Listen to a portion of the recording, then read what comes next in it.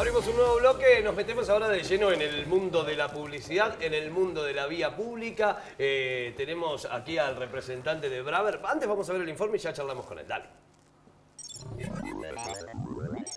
Sin dudas, Braver está a la vista de todos. Son líderes en el mercado local con gran presencia en las calles cordobesas y cobertura nacional, garantizando la exhibición de su marca en cualquier punto del país a través de bases operativas en diferentes provincias. Su objetivo es demostrarle a los clientes que la publicidad exterior es un medio eficaz, innovador y rentable. En la publicidad exterior no se puede cambiar el canal ni de emisora, ni mucho menos pasar la página. Te encontrás el producto, aparece sin dar opción a mirar hacia otra parte. En Braver añade dieron valor a todo tipo de campañas publicitarias, sumando una excelente herramienta de comunicación masiva. Braver reafirma así que es líder en creación de sistemas de comunicación que funcionen y se destaquen utilizando estrategias integrales en out of home, activaciones en vía pública, desarrollo de eventos y espectáculos, series y televisión son algunas de las herramientas comunicativas que ofrecerá Impacto. Qué desafío y qué responsabilidad ser la tercera generación de una de las primeras empresas de vía pública en la Argentina y con 81 años, ¿no? Sí, viste, es heavy, ¿no? Pero lo, bueno de eso es que yo y mi generación somos dos hermanos más. Los tres trabajamos el día de hoy juntos y gracias a Dios todavía tengo a, mi, a mis viejos. ¿A tus viejos laburando? Sí, toda la familia. Y estamos todas las familias laburando juntos. Entonces es como que de chiquitos ya vamos llevando lo que es. Sí, mamaron, toda, toda la empresa y toda la vida. ¿Qué es Impacto? Porque vi la presentación y ahí fue cuando dije, tengo que invitarlo porque Impacto, no, no es una plataforma, un sistema. ¿Qué es Impacto? Impacto en criollo es profesionalizar un poco la vía pública. Eh, hace, un, hace unos años, cuando yo empecé en este negocio, vos tenías una marca y tu target era uno en cuatro. Tele, radio, diario y, vía, pública. y, vía, pública. Y la vía pública siempre muy bastardeada. Hoy con el paso del tiempo y con la irrupción de los medios digitales y de Facebook y Twitter y demás, la vía pública es el único medio que sigue vigente y en constante crecimiento. Y ese target que vos podés ir cortando y llevando a diferentes lugares, con impacto lo que hicimos es crear un unidad de negocio para que tus, tus campañas de vía pública sean tan eficaces como pueden ser en digital. Y decir, che, bueno, ¿la vía pública se puede medir? Sí, se puede medir.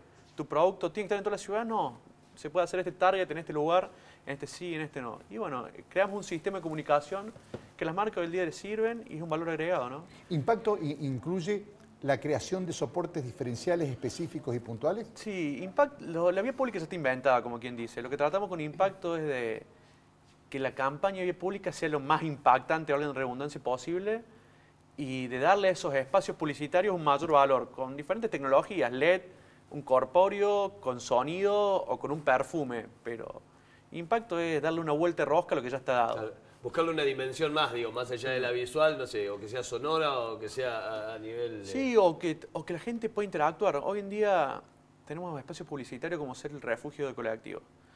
Y si ese refugio vos le das un valor agregado, como puede ser una pequeña antena Wi-Fi, una pantalla que la gente pueda jugar y demás, las marcas aparte tienen un valor agregado que, está bueno. Sí, para la marca como activación está bueno. Y, bueno, y eso es impacto. Impacto es darle una vuelta rosca a un medio que en Argentina ya tiene entre 80 y 90 años. ¿Y ¿Recuerda alguna experiencia con Bluetooth?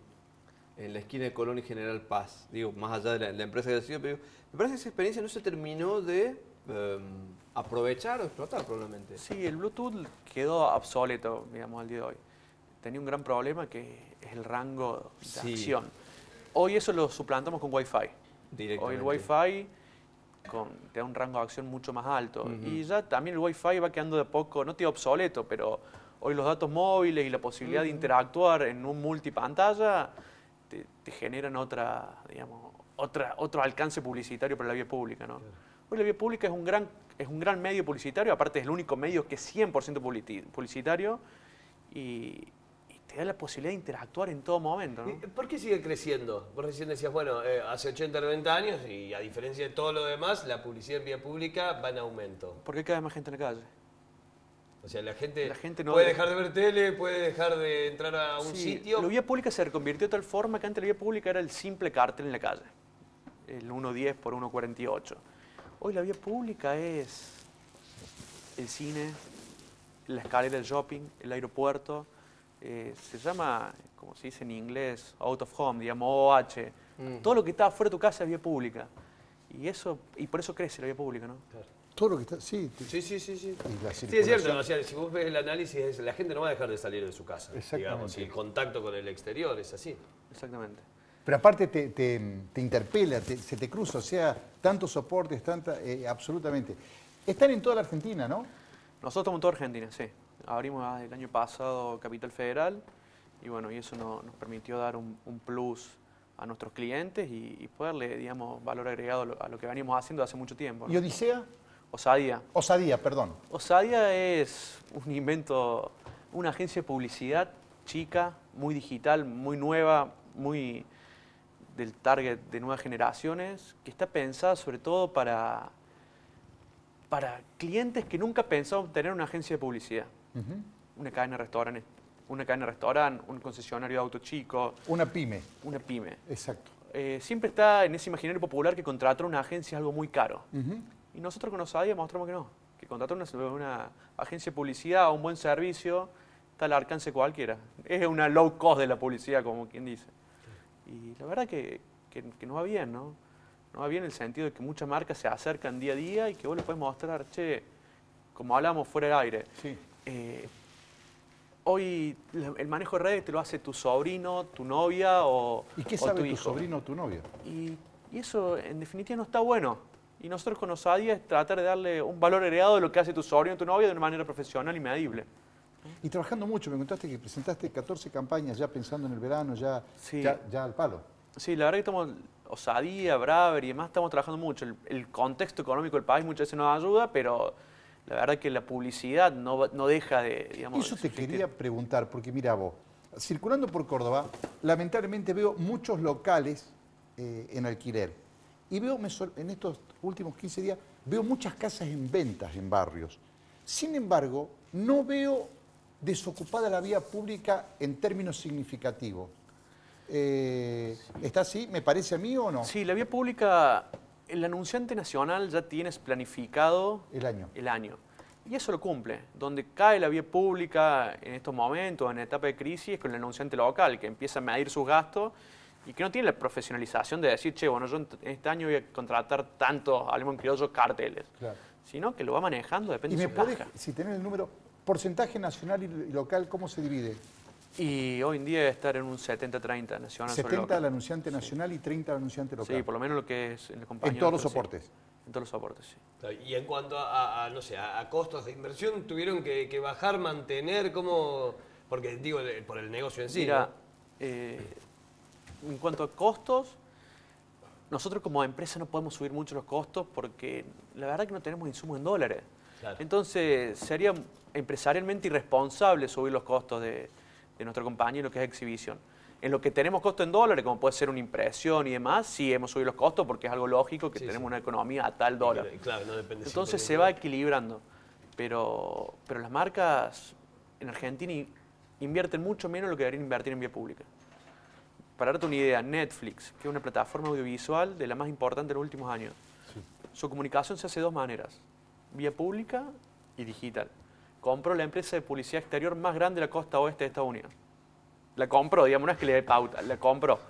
Eh, en, en todo el mundo se invierte un 15, un 20% del presupuesto publicitario en una marca lo invierte en vía pública. Acá en Argentina es un 3, un 4. Un 3%, o sea, y, y todo lo demás, eh, que, que lo que se invierte es medio Sí, tradicional. Medio tradicional y el digital que hoy en día es fuerte, ¿no? Claro, tiene. Eh, recién decías de osadía, bueno, sería como una low cost, pero ¿en qué, en qué basa, digamos, el servicio para, para que yo, por ejemplo, si de repente tengo una microempresa, poder llegar y poder bancármelo? O sea, hay una agencia de publicidad tradicional. Con los servicios tradicionales de cualquier agencia de publicidad, lo que hemos hecho es tratar de reformular los costos que generan las agencias de publicidad. En, tal- en el sentido de que el diseñador hace ejecutivo de cuentas porque está al lado del cliente constantemente y porque el tipo de cliente que nosotros apuntamos Claro. no es una multinacional, sino una pyme. Y si yo a la pyme le meto un ejecutivo, un, un un diseñador, un director de arte y más, me termina siendo la pyme un inversionista de mi, Sí, de sí. mi empresa. Y termino me fundiendo yo y se termina fundiendo la- la- el cliente y no sirve, digamos. ¿Pensás que eso puede ser una tendencia? Y no sé si una tendencia, pero por ejemplo en Europa hoy vos podés ver tranquilamente agencias de publicidad que te dicen, venite ya tu trabajo en el día. ¿no? Y eso es muy loco, ¿no? Yo no sé si es una tendencia, pero yo actualmente trabajo con marcas y con instituciones sin agencia, sin estructura. ¿Y qué me compran? Pensamiento estratégico. Visión, pero no solamente comunicación, ¿no?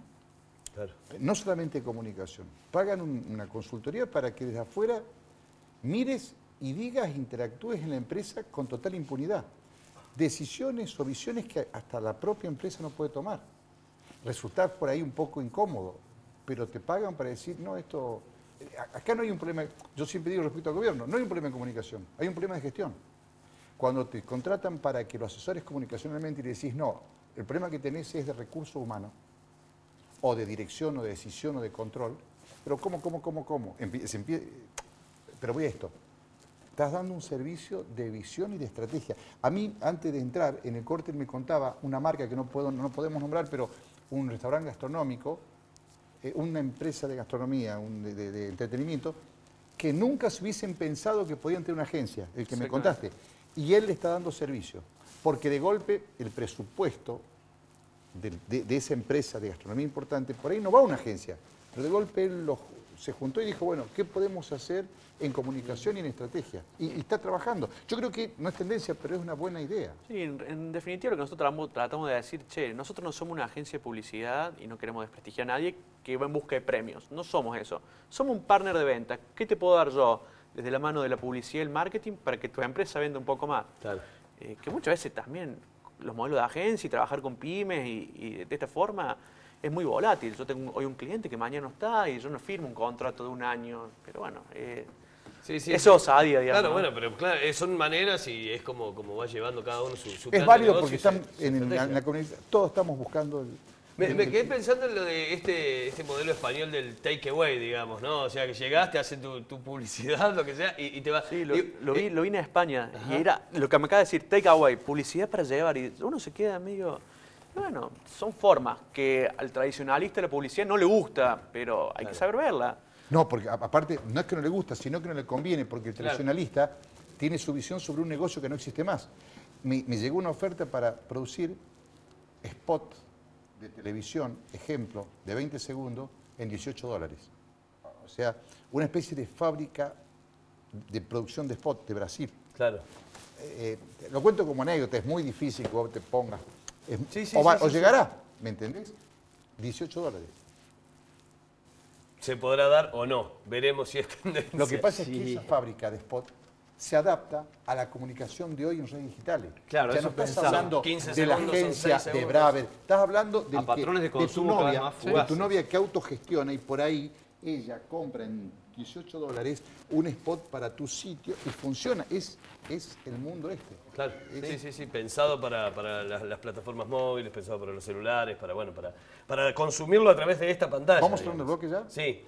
Eh, quiero mandarle un saludo a la madre. Y la madre eh, de él es la, la impulsora, la heredera, y es el eslabón entre el fundador y ellos. Y, es una, y hoy sigue trabajando al palo, sin necesidad, sigue trabajando al palo con, con ellos. en- Al lado. en- así que muchas gracias y saludos. Es la número uno ya, así que- Por eso también tres generaciones, ¿no? Y por eso 81 años en el mercado. Gracias, muchísimas Gracias, gracias. gracias. Hacemos un corte cuando volvemos, tenemos viral para repasar y cerramos con Recomendarlo música, al ¿eh? viral porque Sí, eh, recuerden, pues ya hicimos la venta en el arranque. Eh, ¿Querés meter miedo o no? No, Se porque- están aterrando del no, otro no, lado. No, pero, pero es un viral para mirar seriamente, reflexionar y reinventarse desde que termine el, viral. Corte y ya venimos.